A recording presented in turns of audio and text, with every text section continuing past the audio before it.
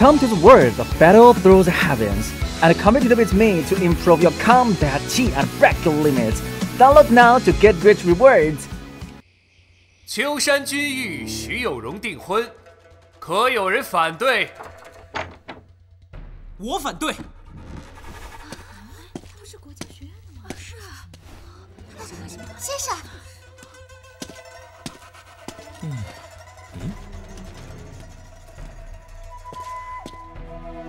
我反对。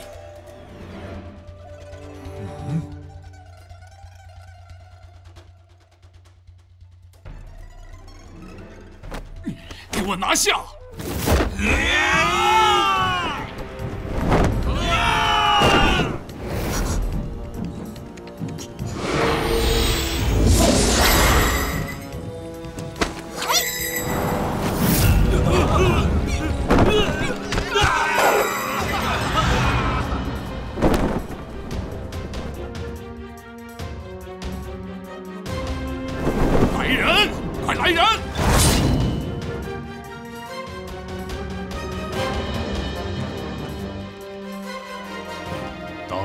下，有话就上殿来说。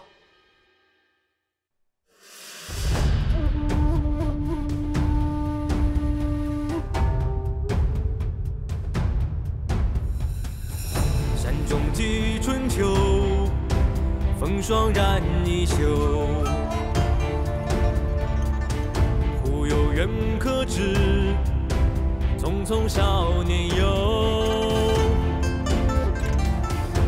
红尘不自觉，山天有残月。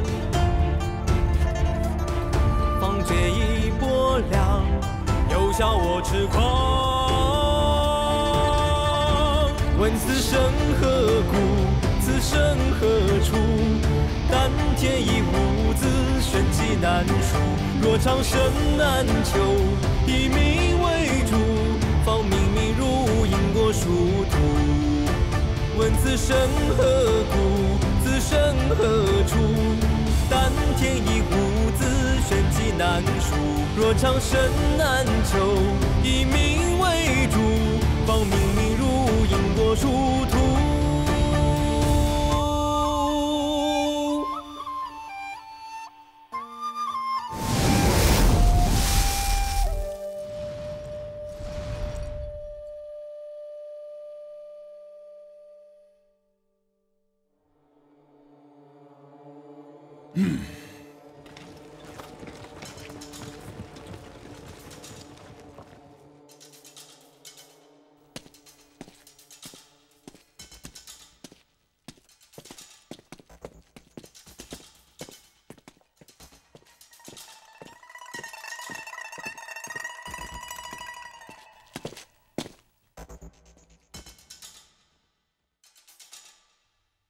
我听见殿下说，秋山君与徐有容欲结为夫妻，可有人反对？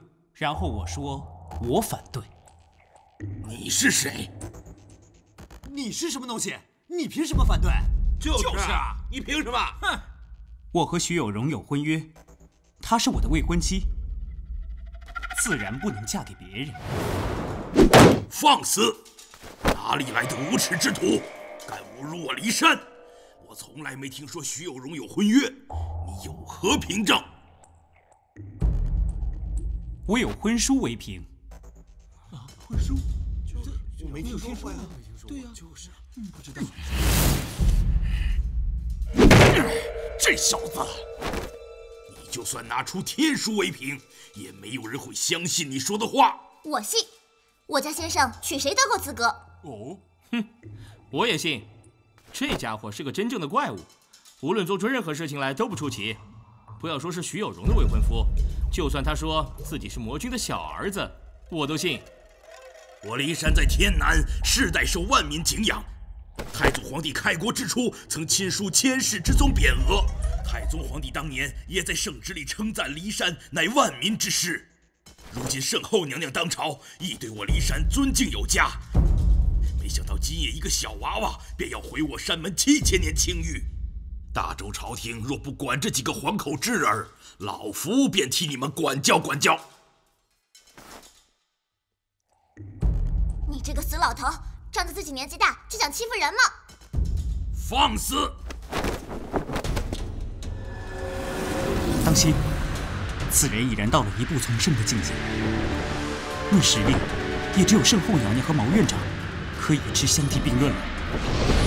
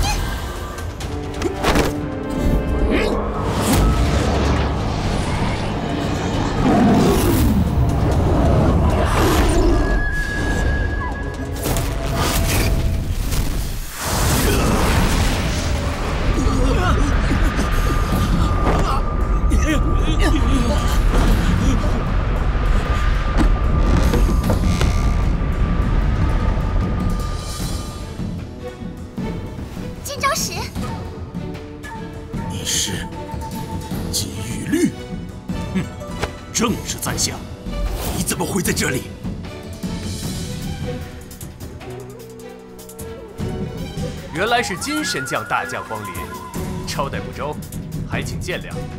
来人，给金神将看座。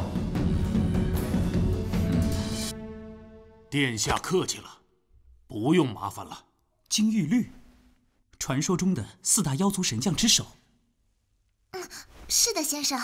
金玉律，大周太宗皇帝陛下御笔亲赞金科玉律的男人，这么厉害的人物怎么会出现在这里呀、金长史一直在保护我，呃呃，那你先生，我不是故意要隐瞒我的身份的。这事不怪你，只是现在有许多人正好奇你的身份，你想不想说呢？听先生的。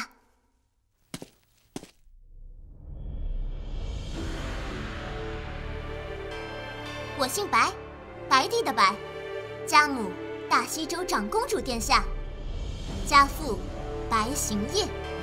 是妖族的公主，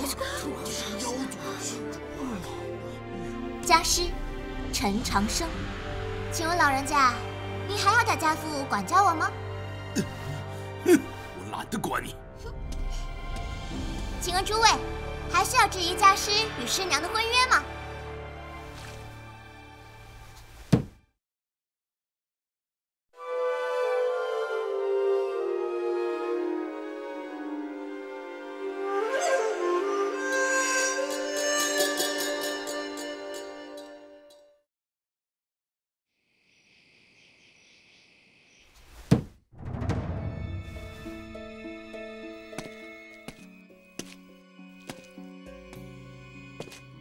在下苟寒石，在下陈长生。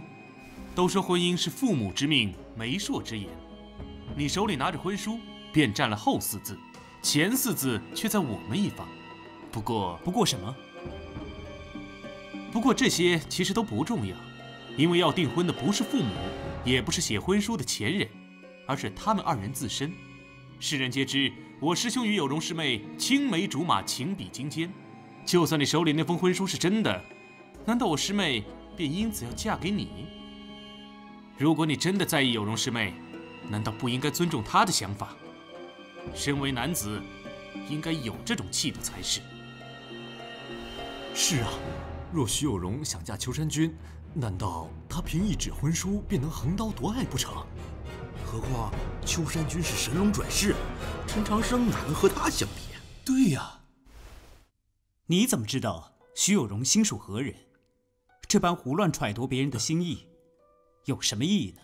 对啊，什么青梅竹马、情比金坚，我看啊是自作多情吧。没错，少替我师娘拿主意。可师兄和有容师妹的婚事，关乎南北联盟，关乎人类对抗魔族的大义。他们的婚事是世人都希望看到的结果。为了抵抗魔族，个人做些牺牲，又算得上什么呢？请问，什么是真正的大义呢？为了对抗魔族，为了人类的团结，便要一个女子顺应世人的意愿，嫁给一个她不想嫁的人吗？这是哪门子大义啊？真要说起来，我和徐有容先前的婚约才是真正的大义名分，你们谁都无权阻拦和反对。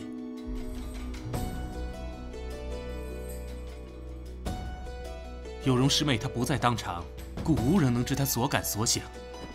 你我这般议论，确实是徒费口舌。只是今夜之事，无论是与非，大家都听到了你的声音。可我那位不在场的大师兄却无法当众说出他的意思，我以为这是不公平的。那怎样才算公平呢？作为骊山弟子，我有责任维护师门声望。作为师弟，我要代表师兄展现一下态度。所以不论怎样，我都要做些事情。那么，请赐教。哎呦，这是在较真了。不知道国教学院敢不敢接？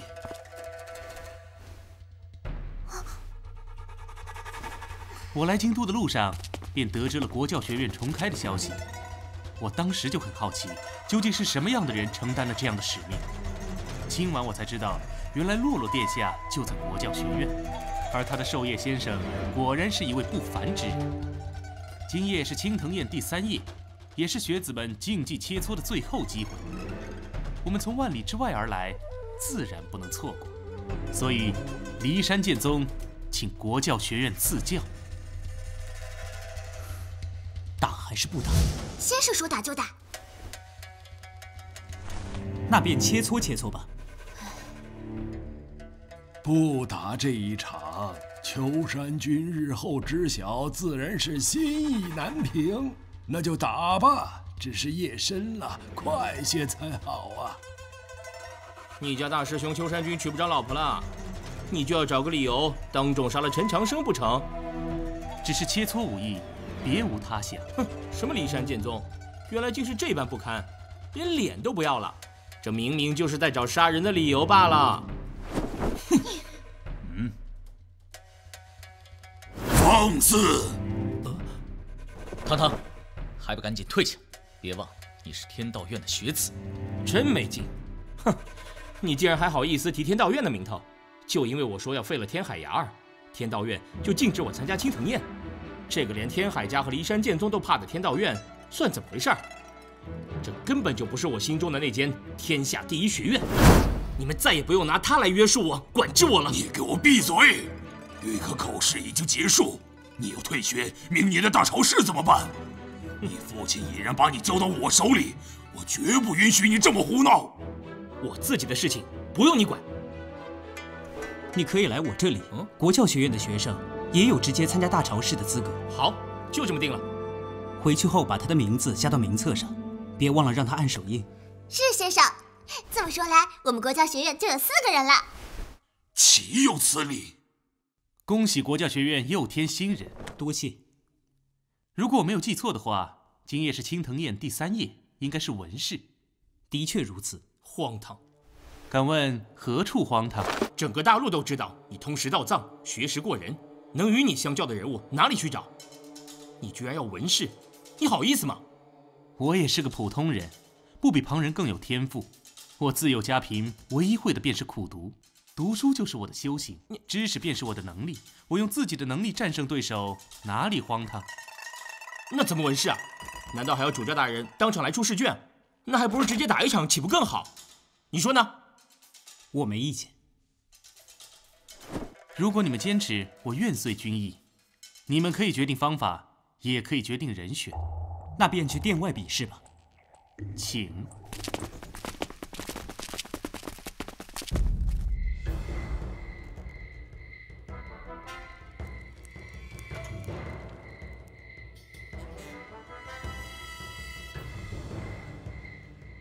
看似由我们确定比赛方式、挑选对手，其实也没什么区别。两场都是神国七律中人，无论想赢他们当中哪一个都很困难。所以苟寒石能这样大度，他的境界和秋山君一样，已经离开青云榜，成为点金榜中人。他提出以我为誓，是不想落场与你们战斗，落个以强凌弱的名声。我提出武士，只是想我和殿下若能侥幸连赢两场，你就不用出场了。只要你不出场，他们就没有办法把今天丢掉的面子找回来。你还能继续体面的当徐有容的未婚夫。说的好像你们真的能赢过对方似的。打不打得过都得打。洛洛殿下，我先挑七间。好，关飞白就交给我吧。我代表国教学院打头阵，挑战七间。好。哼。请。